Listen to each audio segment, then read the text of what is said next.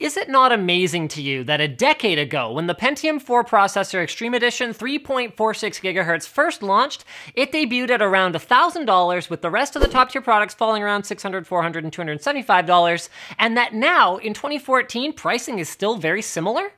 Perhaps not on the surface, but consider this. In the last 10 years, average gas prices in the US have gone from under $2 per gallon to around $3.50 per gallon, with general inflation in the 20 to 25% range.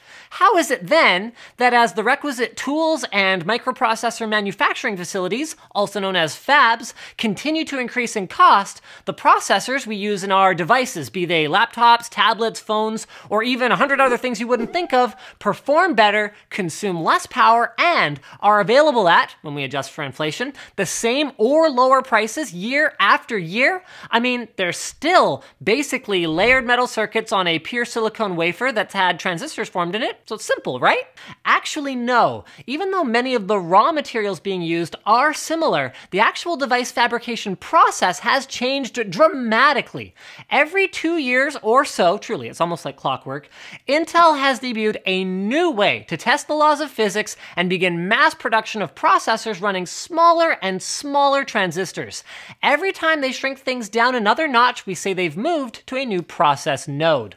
When this happens, there are a couple of things that usually occur. Transistors switch faster. This translates to potentially higher clock speeds and performance. Less current is required for transistor switching, which translates into reduced power consumption, and the physical area taken up per transistor goes down significantly, allowing allowing either what is fundamentally the same processor to be manufactured with less raw material and be therefore lower cost, or a better processor to be manufactured with the same raw material at a similar cost. So that's all the fuss being made right now about Intel's Core M processor codenamed Broadwell Y, the first CPU to be produced using Intel's latest 14 nanometer manufacturing process.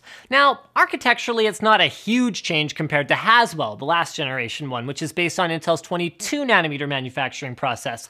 But shrinking the size of the transistors allows the Core M to do some pretty amazing stuff, including deliver dual core, turbo boost capable CPUs with beefy onboard graphics graphics that have a TDP of 4 to 4.5 watts, low enough for use in 2-in-1s and other ultra-thin mobile devices in the future without requiring a cooling fan. Not to mention better performance, better battery life, etc. And there's more. As Intel's capacity at 14 nanometer ramps up, we will see this technology deployed in the desktop and server until it's everywhere, and then it's time to start the whole process all over again. And that is how we keep getting better processors at the same or even lower prices sometimes.